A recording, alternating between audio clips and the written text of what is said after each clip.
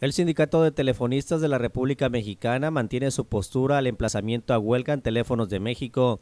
Oscar de León, secretario de la sección 18 de jubilados del Sindicato de Telefonistas, señaló que la propuesta de la prórroga tiene como finalidad mantener una mesa de negociación intersecretarial en la que participan Telmex y el Instituto Federal de Telecomunicaciones. Una tiene que ver con la postura del sindicato ante nuestra oposición a la, a la separación de la empresa de Teléfonos de México.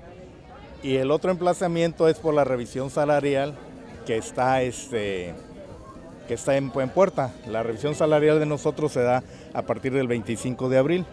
Entonces nosotros esperamos que ese, ese 22 de, de abril se va a llevar a cabo, se va a establecer una Asamblea Nacional de Representantes donde va en la Asamblea que toma la decisión sobre qué si se acepta o no los posibles ofrecimientos de la empresa.